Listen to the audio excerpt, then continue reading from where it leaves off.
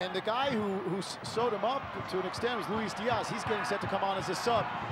Nice ball in there by Boateng. We're level one. Look at that. Out of there by Alfredo Morales. Carles Gil once again back out for Ema Boateng. Boateng's cross into the middle. Buchanan scores. Ties the, the ball back. Great dribbling skill and a nice pass into space. Flowing the Reds. Boateng stands it up. Buchanan. Wow! 2-1. The